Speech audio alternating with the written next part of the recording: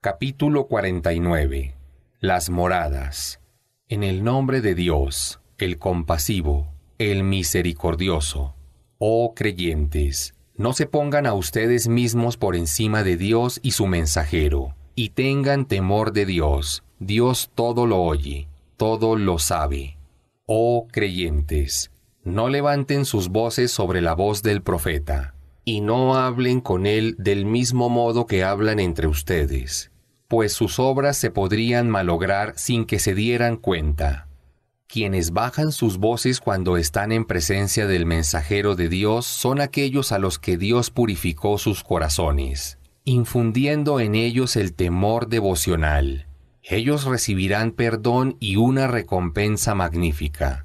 La mayoría de los que te llaman con insistencia, oh Mohammed, desde afuera de tu morada, no razonan.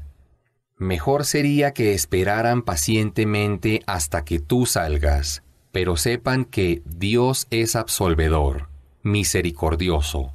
Oh creyentes, si una persona que transgrede se les presenta con alguna noticia, corroboren su veracidad. No sea que perjudiquen a alguien por ignorancia y luego se arrepientan de lo que hayan hecho. Sepan que entre ustedes está el mensajero de Dios, y que si los obedeciera en la mayoría de los asuntos habrían caído en la perdición. Dios les ha infundido el amor por la fe, embelleciéndola en sus corazones, y los hizo aborrecer la incredulidad, la corrupción y la desobediencia. Esos son los bien guiados. Ese es el favor y la gracia que Dios les ha concedido. Dios todo lo sabe, es sabio. Si dos grupos de creyentes combaten entre sí, intenten reconciliarlos si uno de los dos actúa abusivamente contra el otro, combatan al grupo opresor hasta que respete las leyes de Dios. Pero si lo hace, entonces reconcilien a ambos grupos con equidad. Sean justos, que Dios ama a quienes establecen justicia. Los creyentes son hermanos entre sí. Reconcilien a sus hermanos y tengan temor de Dios para que Él les tenga misericordia. Oh creyentes, no se burlen unos de otros, porque pudiera ser que los que son blancos de las burlas sean mejores que los que se están burlando. Que las mujeres no se burlen de otras mujeres, porque es posible que las que son el blanco de las burlas sean mejores que las que se burlan. No difamen ni pongan apodos ofensivos. Qué malo es comportarse como un corrupto luego de haber sido agraciado con la fe.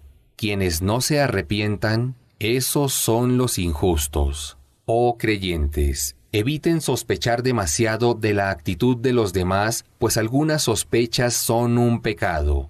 Y no se espíen, ni hablen mal del ausente, porque es tan repulsivo como comer la carne muerta de su hermano. ¿Acaso alguien desearía hacerlo? Por supuesto que les repugnaría. Tengan temor de Dios, porque Dios es indulgente misericordioso. Oh seres humanos, los he creado a partir de un hombre y de una mujer, y los congregué en pueblos y tribus para que se reconozcan los unos a los otros. El mejor de ustedes ante Dios es el de más piedad. Dios todo lo sabe y está bien informado de lo que hacen. Los beduinos dicen, somos creyentes. Diles, oh Mohammed, todavía no son verdaderos creyentes. Mejor digan que han aceptado el Islam, pues la fe no ha ingresado completamente en sus corazones. Sepan que si obedecen a Dios y a su mensajero, sus obras no habrán sido en vano, y serán recompensados por ellas. Dios es absolvedor, misericordioso.